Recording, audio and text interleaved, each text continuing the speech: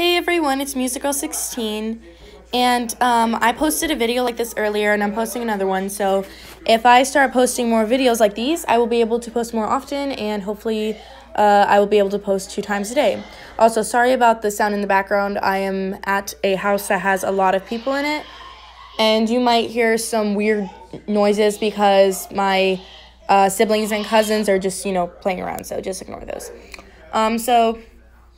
In this video, I'm going to show you how to change the category on your YouTube video. So if you go to YouTube and you go to your channel, this was actually the video I posted earlier, but we're going to pause that. And you go in the description, you see how it right here says education. Well, I'm going to show you how to change that. So before when I would create these YouTube videos, all my videos, even if they were any literally any type of video would always say comedy and I was always like, how do I change that? Because this isn't comedy. So I figured out how. So what you need to do is you need to go in the App Store and download an app called YT Studio. It's right here. This app is actually good for a lot of things for YouTube. So you'll open that. And um, like I did before, I'm going to go onto a video that I have saved private, which is this one right here. You'll tap that. You'll tap the little pencil in the corner. And you're going to tap this thing right here, the little wheel.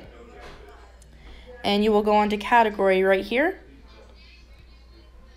And you have all of these options to choose from. Literally, there's a lot of options. Okay, well, not like a whole lot, but there's a good amount of options. And then once you choose the one you want, you hit save. And then, yeah, that's how that works. And then, like I said before, you'll want to swipe YouTube so it refreshes the page.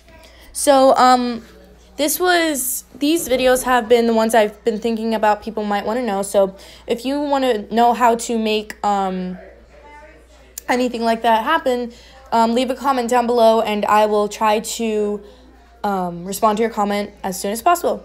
So, thank you guys so much for watching and have a great day. See you next time. Bye!